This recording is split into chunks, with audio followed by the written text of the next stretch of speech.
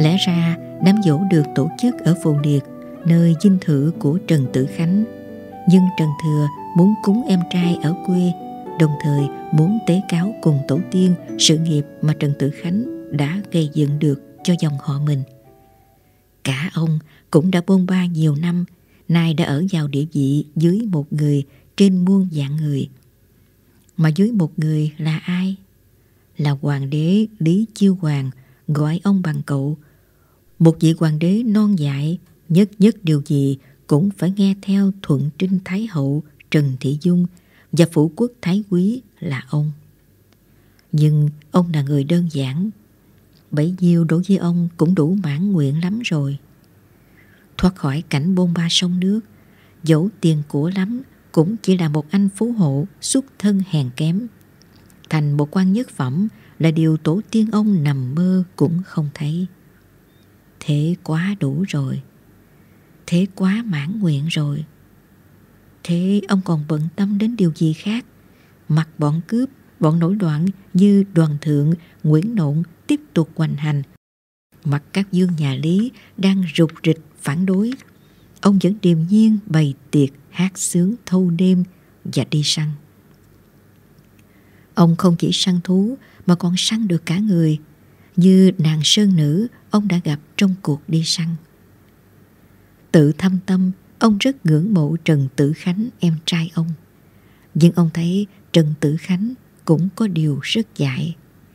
Đó là cái tính muốn làm gì là làm cho bằng được, bất kể điều đó có hại cho bản thân mình. Đã phò được Thái tử Lý Hạo Sảm lên ngôi rồi, đã trở thành một bậc công thần, thì yên ổn ở địa vị mình mà hưởng thụ.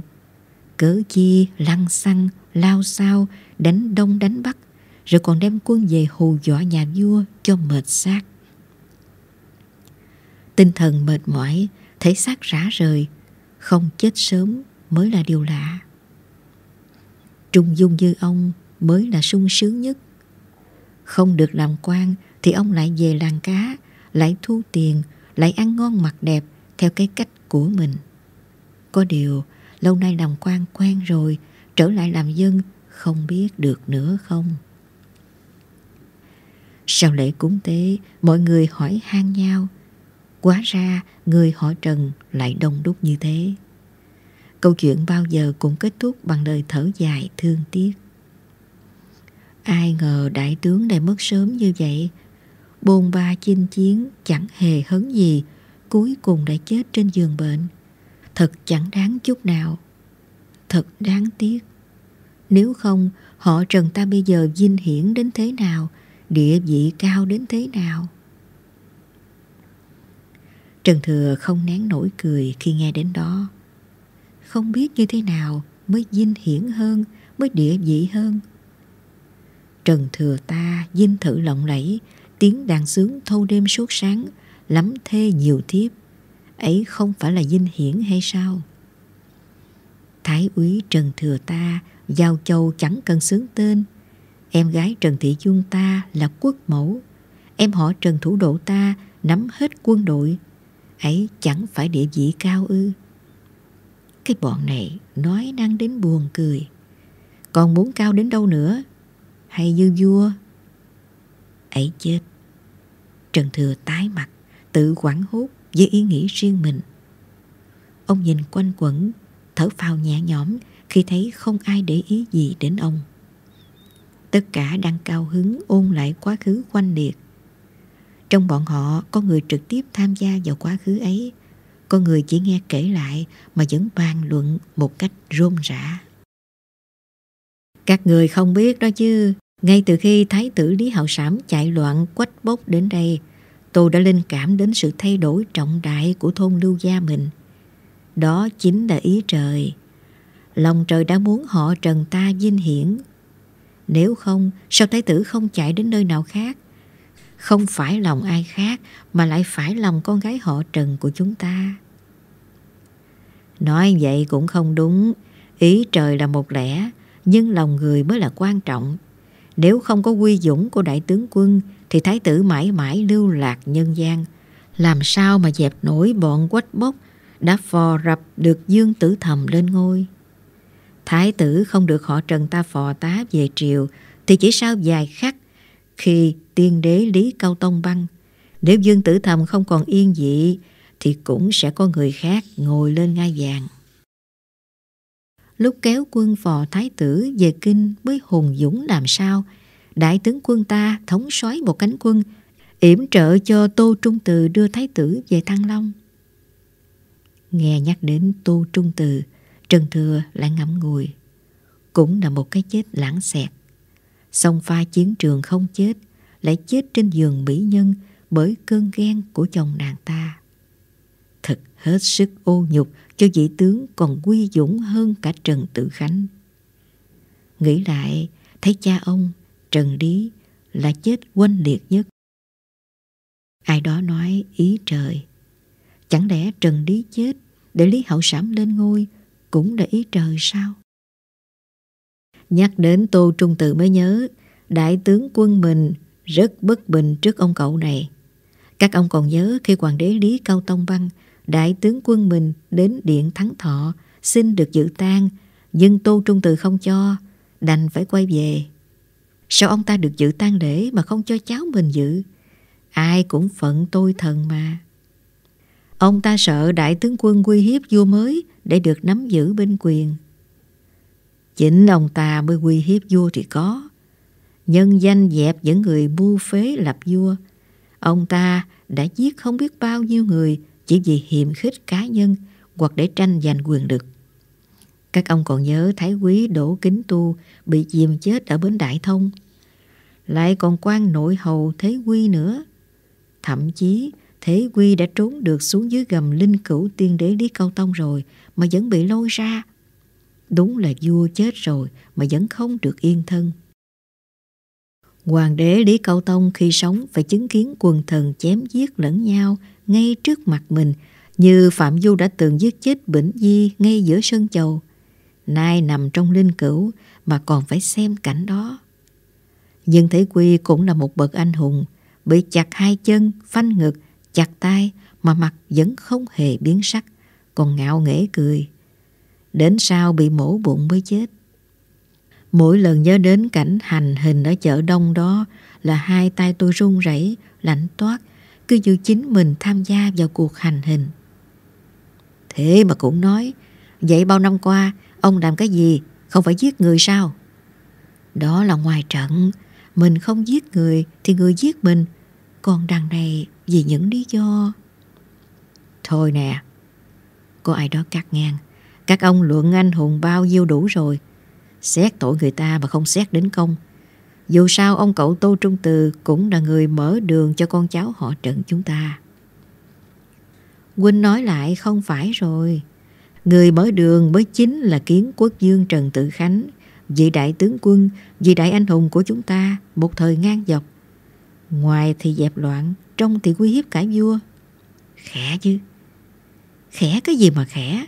Nơi đây chỉ toàn người của chúng ta. Huynh không nhớ sao, Vua cha mới băng chưa kịp tán, Vua con Lý Hậu Sảm Đã sai người về đón Trần Thị Dung. Như người ta hẳn phải dội dã đưa em gái mình đi ngay nhưng đại tướng quân đã kháng ý chỉ, Từ chối hết lần này đến lần khác. Thật là kế sách tuyệt vời. Kế sách gì ở đây? Huynh chẳng hiểu gì cả. Đại tướng quân nhân chuyến đưa dâu này Muốn giành lại quyền được từ tay Tô Trung Từ, Muốn giữ Trần Thị Dung mà nắm nhà vua. Thật là đáng tiếc. Người này lại chép miệng tiếc rẻ. Có một người ngồi suốt buổi không nói năng gì Nhưng ông nghe hết lời mọi người nói Với luồng suy nghĩ chạy liên tục qua trí não ông. Đó là quan điện tiền chỉ huy sứ Trần Thủ Độ. Tâm tư ông cũng đang quay về quá khứ. Ông nhớ cái ngày cha ông qua đời. Cha ông Trần Quang Nghị đã căn dặn các con là Trần An Quốc, Trần An Bang, chính là ông và Trần An Hạ rằng làng ứng bảo này không phải là quê hương của chúng ta. Quê của cha là ở Hải ấp. Bà con thân thuộc đều ở đó. Sau khi cha mất, các con hãy quay về đó, nương nhờ bác là Trần Lý. Hiện gia tư rất bề thế.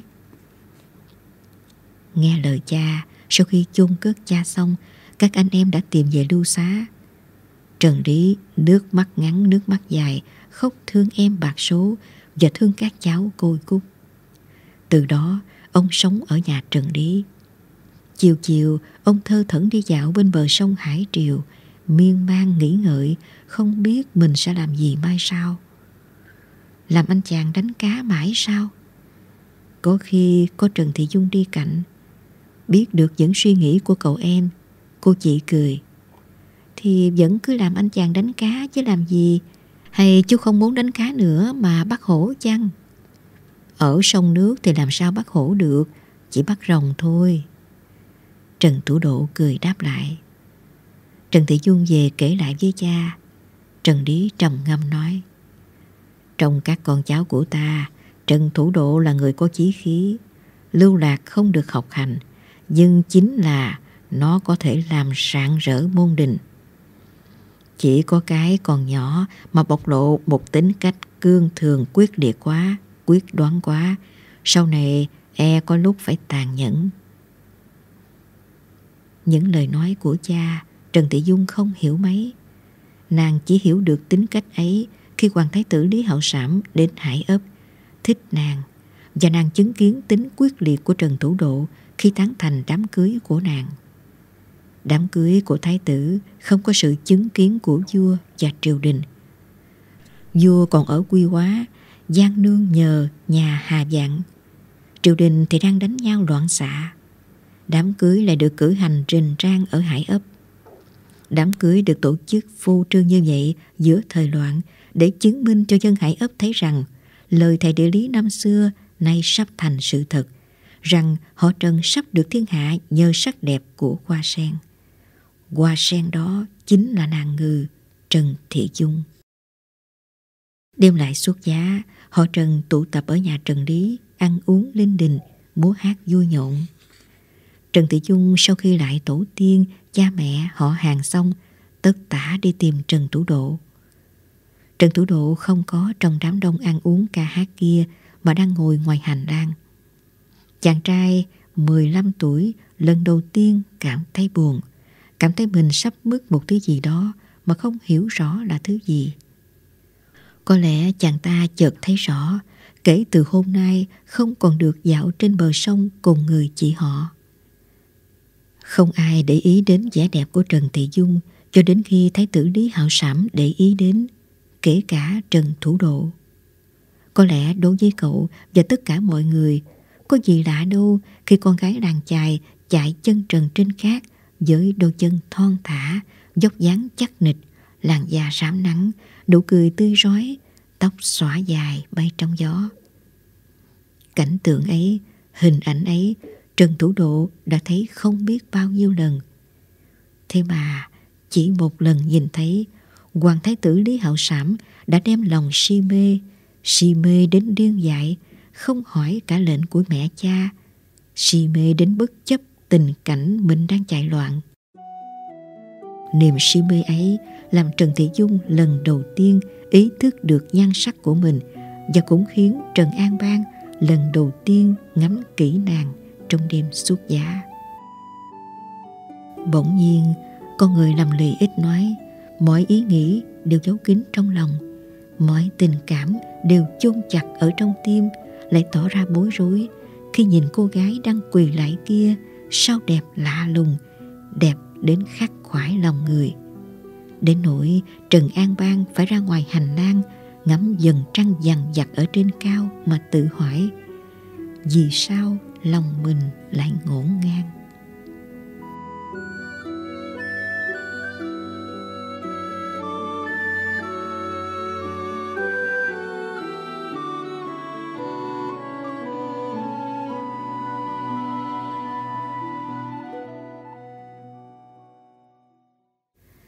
Giờ Trần Thị Dung đang đứng trước mặt cậu em họ của mình Nói bâng quơ Sao trăng đêm nay lạnh quá Trần An Bang nhìn miết bàn chân mình, không dám ngẩng lên dù là để nhìn trăng, bâng quân nghĩ ngợi. Trăng lạnh nghĩa là gì? Trăng khi tròn khi khuyết, lúc đẹp lúc không. Có trăng lạnh và trăng ấm nữa hay sao? Mấy ngày trước đây, Trần Tử Khánh còn quát tháo ầm ĩ vì cô em gái dùng dằn không chịu ưng thái tử. Mày phải biết đây là cơ hội ngàn năm có một. Ý trời đã định mày là hoa sen thì mày phải làm một hoa sen. Đã là định số thì không tránh khỏi đâu. Không phải ai muốn làm bà Hoàng đã được. Bà Hoàng trong đêm xuất giá đã ngồi cạnh Trần An Bang bên hành lang nhà. Hỏi hàng lô hàng lốc những câu hỏi mà đang buồn cậu cũng thấy buồn cười vì sự ngây thơ của bà chị. Nàng không hiểu sao cha thái tử lại không đi tìm con. Tìm cái nỗi gì? Cha còn chạy dài mãi tận đâu đâu. Rồi nàng tâm sự rằng nàng chưa bao giờ nghĩ mình sẽ có người chồng như vậy.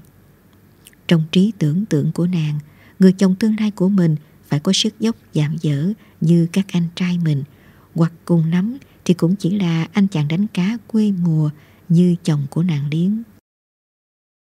Thái tử trắng bóc, mảnh dẻ như con gái, khi cười đôi chân mày vẫn hơi châu lại. Rõ ràng con người đó không dễ dàng có được hạnh phúc cho mình thì làm sao có thể mang lại hạnh phúc cho người khác. Trần An Bang nghiêm nghị nhìn nàng, nói giọng dứt khoát. Chị đừng hy vọng ở hai từ hạnh phúc. Không ai nghĩ đến điều này, kể cả bác, khi gả chị cho thái tử, vì ai cũng biết đó là điều không thể có. Vậy thì gả chị đi để làm gì? Nàng ngự kinh ngạc hỏi. Trần An Bang nghe trong đó sự hoảng loạn, kinh hãi. Cuối cùng, chàng trai trẻ thôi tránh ánh mắt chị mình, thôi lẫn tránh những câu hỏi không ai muốn trả lời nàng. Cậu nghĩ rằng đỉnh số đã quyết định nàng ngừ là hoa sen thì nàng phải hiểu rõ trọng trách ấy, phải biết mình sẽ làm gì trong suốt cuộc đời mình. Cậu xoay người về phía nàng ngừ, bắt nàng phải nhìn thẳng vào mình, bắt nàng phải nghe rõ lời của Trần An Bang. Chị không nhớ đến ngôi mộ tổ của họ Trần ta ư. Nghe nói thầy địa lý sau khi tán hài cốt tổ phụ mình vào quyệt, thổ phúc tàn kinh có phê rằng phấn đại liên hoa, đối diện sinh, dùng nhan sắc của hoa sen mà lấy được thiên hạ. Nay thái tử để ý đến chị, không phải đã ứng với câu nói ấy là gì? Mặt nàng ngự biến sắc. Nàng sẽ lấy thiên hạ ư? Lấy bằng cách nào? Và lấy để làm gì? Những thắc mắc đó, Trần An Bang không giải đáp cho nàng, mà cũng không thể nào giải đáp nổi. Đã 15 năm trôi qua, từ cậu bé Trần An Bang mồ côi mồ cúc. Ông đã trở thành quan điện tiền chỉ quy sứ Trần Thủ Độ nắm hết quân cấm vệ, là một đội quân quan trọng của triều đình. Ông vẫn loay quay, chưa tìm ra câu trả lời. Anh họ ông Trần Tự Khánh quyền nghiêng ngửa thiên hạ, nhưng ông biết chắc rằng cũng không có câu trả lời và có lẽ vẫn còn ngậm ngùi nơi chính suối. Vua Lê Ngoại Triều giết anh đoạt vị, làm nhiều điều bạo ngược, chính sự mục nát, lòng dân tao loạn. Thế mà khi lấy thái tổ lên thay, vẫn phải dùng mọi cách để mê hoặc lòng dân sao cho hợp ý trời, dẫu là khi đó Lê Ngoại Triều đã băng. Ông không được học nhiều, nhưng cũng biết câu danh không thuận thì ngôn bất chính. Làm sao để tìm được cái danh đó cho họ Trần để ngôn được thuận lòng thiên hạ? Trần Tử Khánh lao tâm khổ tứ cả đời cũng không tìm được. Vì vậy, hành động của ông ta hết sức mâu thuẫn, như một người quăng lưới bắt cá không khéo, chỉ làm rối lưới, còn cá chạy đi mất. Ông ta hết phò giúp vua, rồi lại quay ra đánh vua, đánh vua chạy dài đến Đặng Châu rồi lại chạy ra rước vua về, cắt tóc, dập đầu xin vua tha tội. Ở yên được mấy đổi rồi lại xâm phạm cử khuyết, đốt cung thất cháy phừng phừng, dân chúng chạy náo loạn. Vua phải ra ở nhà tranh bên cầu Thái Hòa, cạnh đền Chúc Thánh. Lây quay mãi, vẫn không tìm được cách nào cho danh thuận, ông ta phải đưa Huệ Văn Dương con trai tiên đế Lý Anh Tông là chú vua Lý Hạo Sảm lên ngôi lấy hiệu Nguyên Dương. Vẫn còn cảm thấy rối rắm ông ta bèn phế Nguyên Dương, quay về dập đầu tạ tội với vua Lý Hạo Sảm, trả lại mũ bình thiên, trả ghế thiếp vàng vua ban. Ý nói mình không xứng đáng. Vua Lý Hạo Sảm một lần nữa bắt buộc phải tha thứ cho vị công thần mà cũng là tội thần đó. Bởi vì bọn đổ nhuế âm mưu nổi loạn, không tha Trần Tử Khánh thì lấy ai đi đánh? Lại còn hiến tín dương tạo phản. Ôi thôi, vua mệt mỏi giao hết cho Trần Tử Khánh, lệnh cho các quan phải nghe theo. Phong Trần Tử Khánh là thái úy. Vua tôi lại hòa thuận như xưa. Ông vua trẻ thôi hờn dỗi, chính ông cũng là người đầy mâu thuẫn như Trần Tử Khánh. Vua đó, tôi đó, mỗi người mỗi cách, làm náo loạn cung đình, cảnh chém giết như cơm bữa xảy ra, chỉ vì tính đồng bóng của cả hai người. Vua cũng loay quay mắt trong cái lưới cho mình quăng ra. Hết dùng Trần Tử Khánh đi đánh đoàn thượng, rồi lại dùng đoàn thượng đi đánh Trần Tử Khánh. Hết đuổi Nguyễn Nộn, rồi lại phong dương cho Nguyễn Nộn. Gọi Trần Tử Khánh là nghịch thần, dân đang đêm lại bỏ cung thức trốn theo Trần Tử Khánh. Hai vua tôi ấy giờ đã qua mọi sóng gió. Người xuất gia, kẻ thành người thiên cổ. Không biết có thật sự hiểu mình đã muốn làm gì hay chưa? Mọi người hết lời khen ngợi Trần Tử Khánh. Trần Thủ Độ có lúc cũng rất ngưỡng mộ người anh hùng ấy. Nhưng bây giờ khi đã tận mắt chứng kiến bao sự kiện xảy ra trong thời vô Lý Hậu sản cũng là cái thời của Trần Tử Khánh. Ông hiểu ra rằng người như Trần Tử Khánh chỉ làm cho đời loạn chứ chẳng làm cho đời yên. Ai đó nói ngầm tiếc rẻ đại tướng quân có thể làm nhân chủ trong thiên hạ. Chỉ tại anh hùng yếu mệnh. Riêng Trần Thủ Độ lại nghĩ khác. Một người võ biền háo chiến háo thắng, tâm tư dị kỷ, chỉ nghĩ đến mình chứ không nghĩ đến thiên hạ như Trần Tử Khánh. Chỉ có thể lấy được thiên hạ, chứ không thể lấy được lòng thiên hạ. Có lẽ Trần Tử Khánh cũng hiểu rõ như vậy, nên dù đã đuổi được vua ra khỏi cung thất, cũng phải chạy theo rước vua lại, xì sụp lại đứng con trời kia, không dám cả sợ đến chiếc ngai vàng. Vậy thì làm sao mới có thể chiếm được lòng thiên hạ? Là bề dày lịch sử mấy trăm năm ư, là dòng máu chính thống ư không chắc là như vậy bởi vì chỉ trong mong vào công lao của tổ tiên, dựa vào chỗ mình sinh ra đã là con vua, thì Lý Hảo Sảm đã không phải đau khổ vì chính thiên hạ của mình. Cái gì mới làm người ta chiếm được lòng thiên hạ? Trần Thủ Độ bâng khuâng nghĩ ngợi.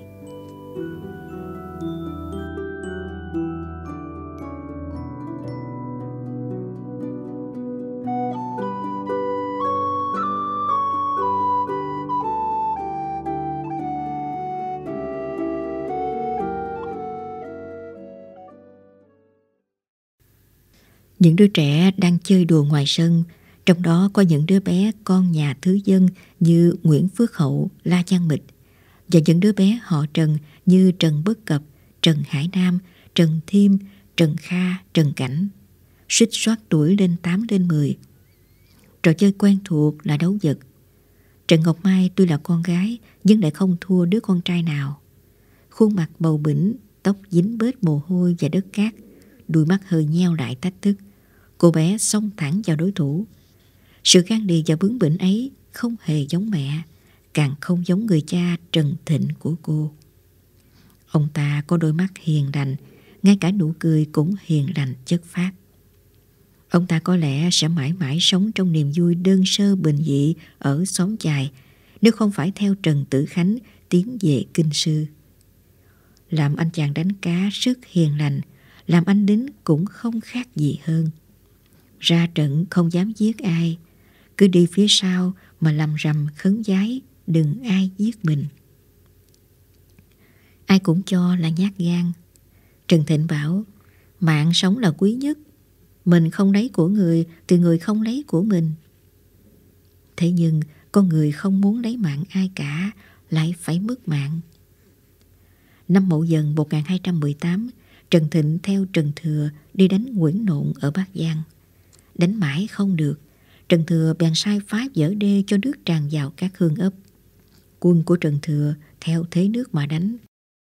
Chẳng may, anh chàng Trần Thịnh né tránh cái chết trong chinh chiến lại bị thần nước cuốn trôi đi. Một cái chết hết sức vô lý đối với một anh chàng làm nghề đánh cá cả đời buôn ba trên sông nước. Người vợ trẻ ở nhà được báo tin là chồng nàng đã chết hết sức anh dũng khi bảo vệ cho Trần Thừa. Chẳng lẽ nói Trần Thịnh cả đời sống dưới nước lại chết vì nước? Càng không thể nói là bị chết vì mưu trước của chủ tướng. Năm đó Trần Ngọc Mai được sinh ra. Năm đó Thuận Trinh Hoàng hậu Trần Thị Dung cũng sinh công chúa Lý Chiêu Thánh. Thương tình người quá phụ họ Trần, họ Trần bèn đem bà vào cung làm nhũ mẫu cho công chúa. Trần Ngọc Mai cũng được nuôi dạy cùng công chúa. Dẫu được ăn sung mặc sướng, Trần Ngọc Mai trước sau gì cũng là một đứa trẻ mồ côi. Còn bao nhiêu đứa trẻ mồ côi khác ở Đại Việt này mà ông không được biết.